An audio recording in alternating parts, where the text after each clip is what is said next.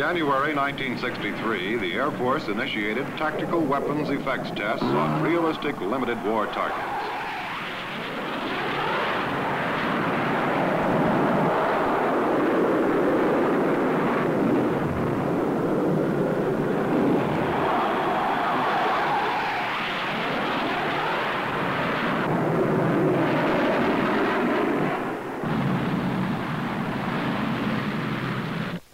The high-performance aircraft were typical of those assigned to tactical strike forces.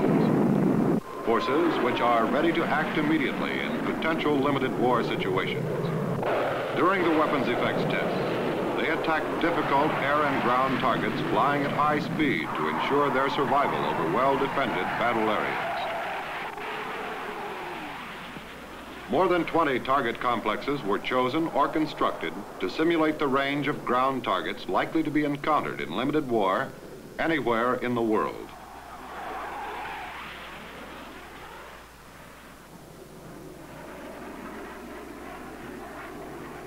Included was a simulated anti-aircraft missile site, patterned after those of Soviet design that were photographed in Cuba.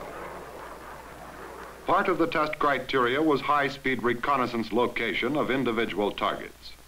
Delivery time of developed negatives and blow-up prints for photo interpretation was comparable to operational pre-strike missions.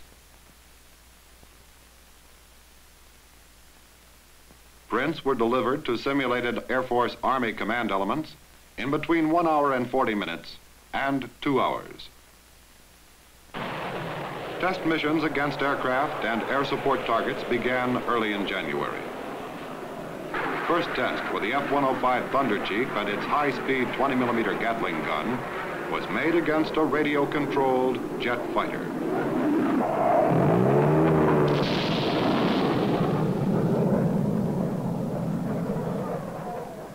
High explosive and armor-piercing incendiaries destroyed the fighter.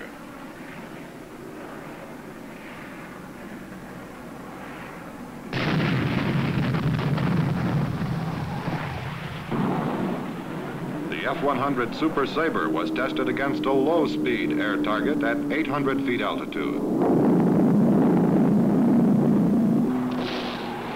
The attack aircraft destroyed a 13-foot radio-controlled simulated light plane flying at 180 miles an hour.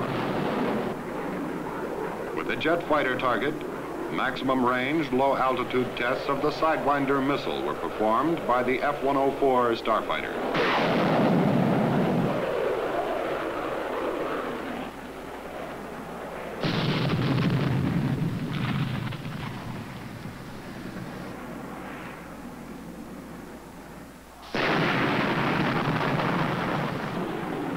Evaluation of the Thunder as a high-speed napalm delivery vehicle was made against parked jet aircraft at a simulated forward area field.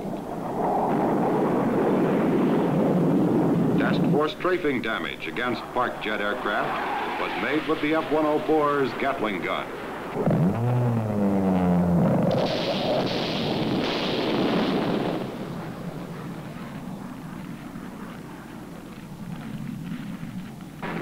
The F-105 was used to evaluate the high-velocity 5-inch Zuni rocket against typical airstrip targets.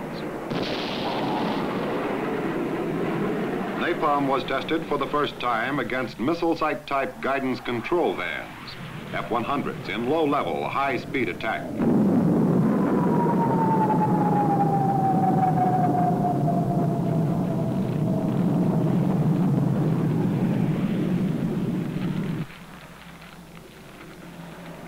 Against the simulated anti-aircraft missiles, Super Sabres tested the effectiveness of 20-millimeter high-explosive incendiaries.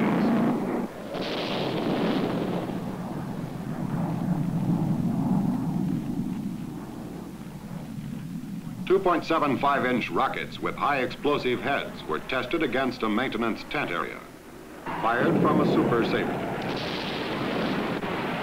rocket's dispersal pattern provided lethal shrapnel damage and fire throughout work areas.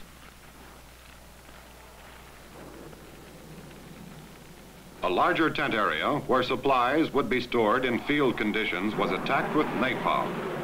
High-speed F-84F Thunderstreaks accomplished this evaluation.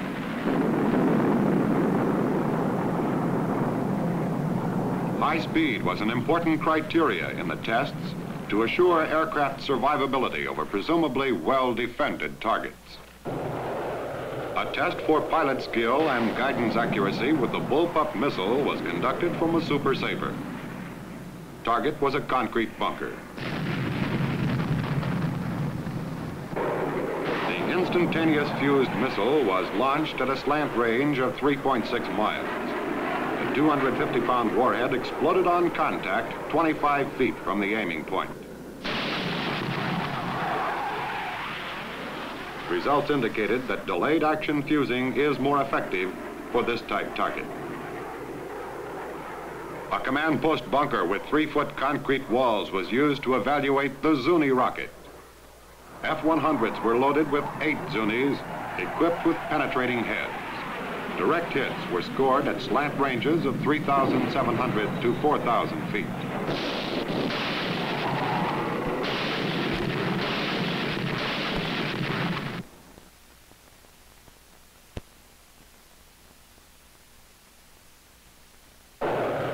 In the next scene, a flat-nosed bomb with a delayed fuse bounces off a wall as an F-105 makes a follow-up attack on the command post. This test was successful. Earlier test runs with too shallow an angle of attack caused the bombs to skip over the target. Close-in ground support attacks on mortar positions were initiated by the F-104.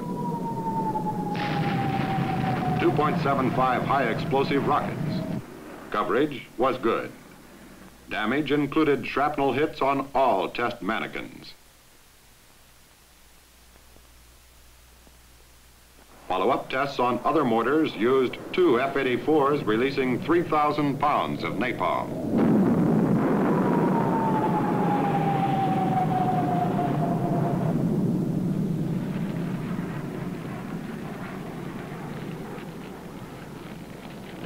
Starfighters with 2.75 rockets made attacks on an artillery piece. Mixed loads were carried by three aircraft. Half high explosive heads, half high explosive anti-tank heads.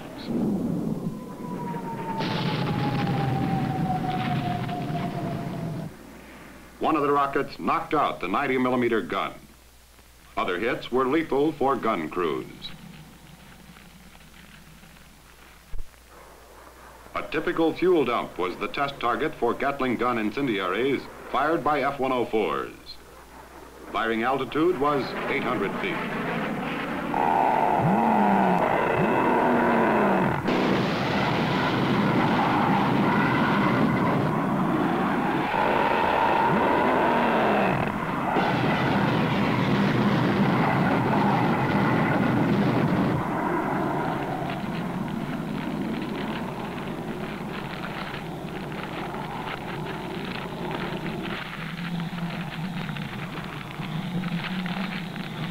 Bombing capability of the Thunderchief was evaluated against large area targets. The weapons load was 16 750-pound bombs for each airplane.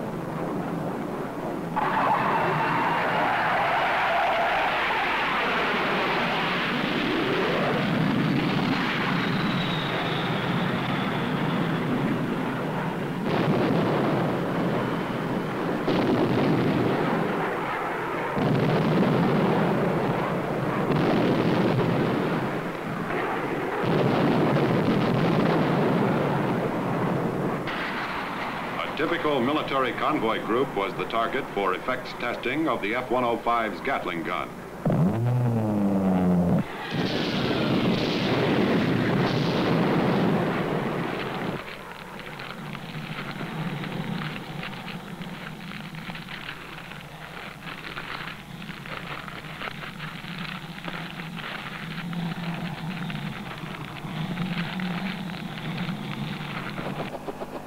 The effectiveness of high-performance aircraft against a low-flying helicopter was tested using a radio-controlled H-43A as a target.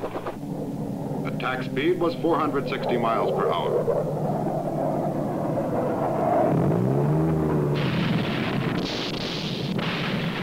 One burst of 20 millimeter incendiaries from the F-1 the helicopter.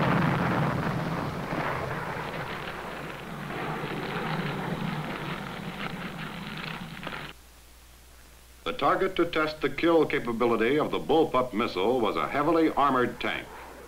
The Bullpup was launched by an F-100 from a distance of two and a half miles.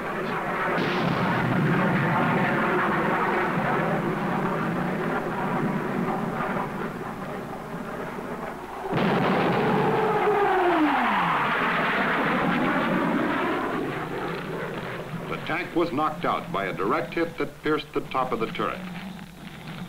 The hatch cover and other parts were found up to 200 feet away from the burning tank.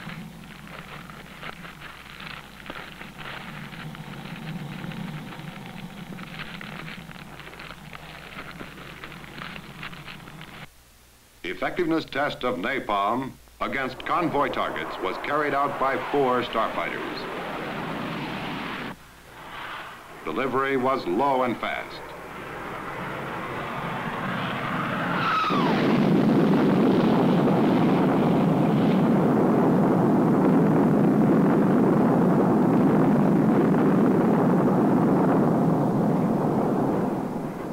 The drop was a split-second length. Destruction was limited to the forward part of the convoy.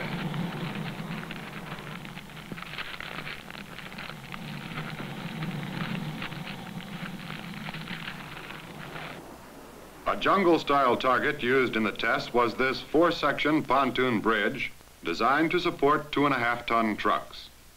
A B-26 of the type used in areas like Vietnam made the attack with 2.75 rockets.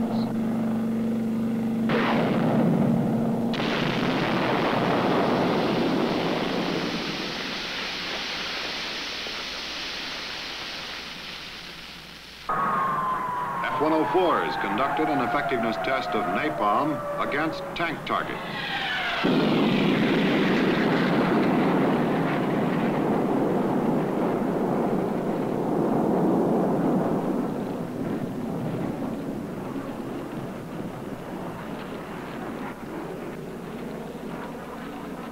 Test equipment inside one of the tanks showed severe heat damage.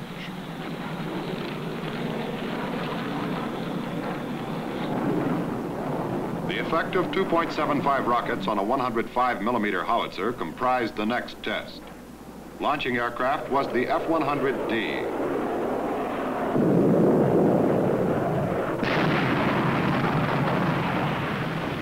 Coming up next, target-mounted camera shows the rocket pattern.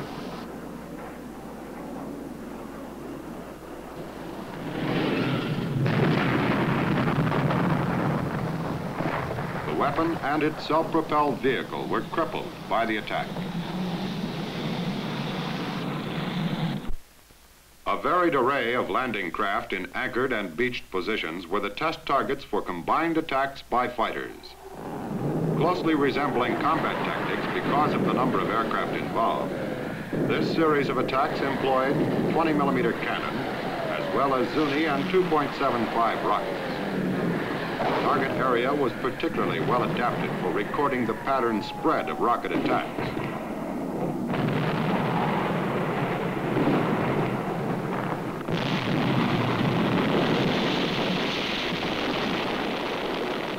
Barges were aground in shallow water, permitting extensive documentation of all types of damage.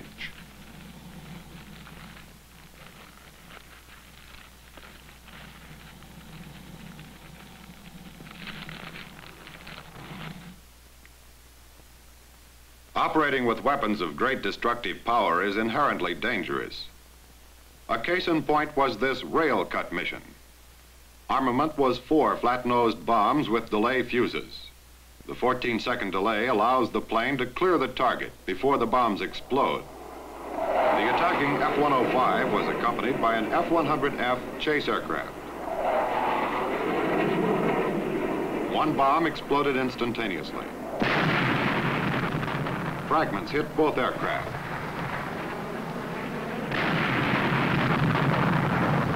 tracking mount on the ground picked up the chase aircraft, the more critically damaged of the two.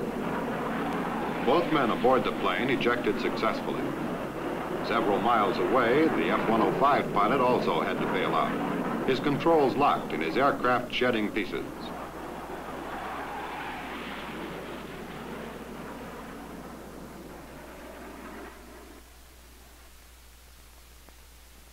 All men survived with minor injuries.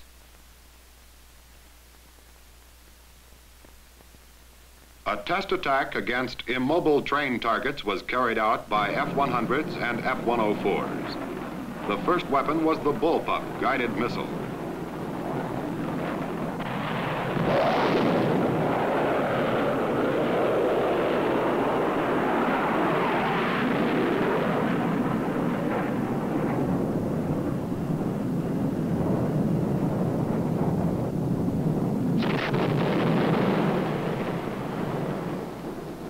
2.75 rockets with high explosive anti-tank head.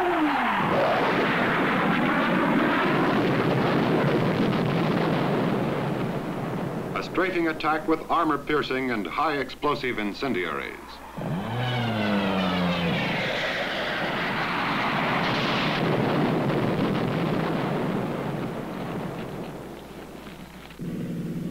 Concurrent with weapons effects tests, the Air Force conducted tactical evaluations of its troop and cargo carriers.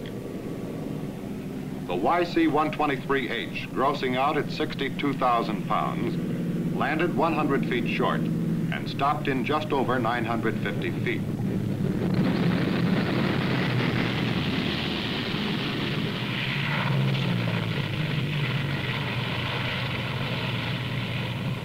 In addition to conventional engines, the 123H has two jet engines to shorten takeoff distance. Computed payload for the test was 20,000 pounds. This experimental aircraft has a beefed up and widened landing gear.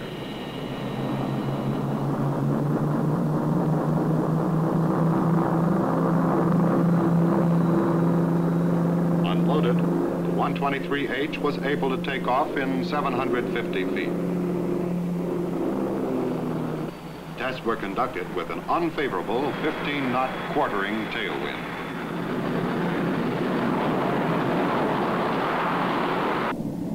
The technique of heavy cargo extraction was tested with the long-range C-130B Hercules. The aircraft does not land. Cargo, a 5,900-pound weapons carrier.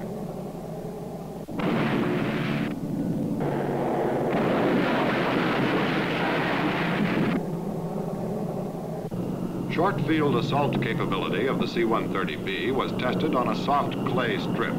Grossing 119,000 pounds, the aircraft stopped in 1,050 feet. Touchdown was at the 100-foot mark, and stop was at the 1,150-foot mark.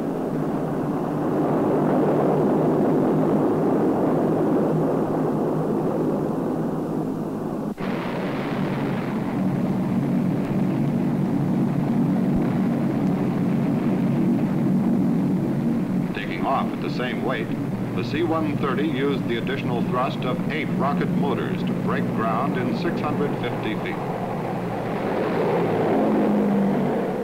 Range of the C-130 with a typical load of 64 fully equipped airborne troops is 3,600 statute miles.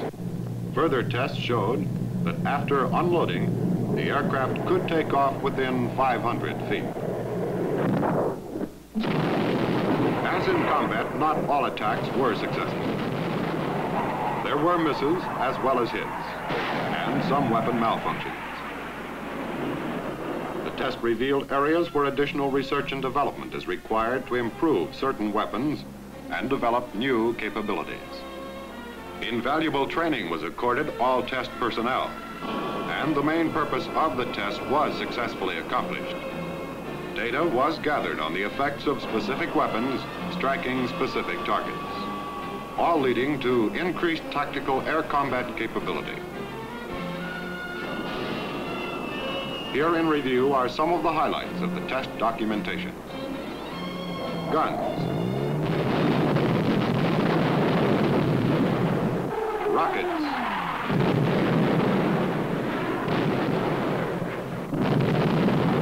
Flat-nose bombs. 750s. missiles.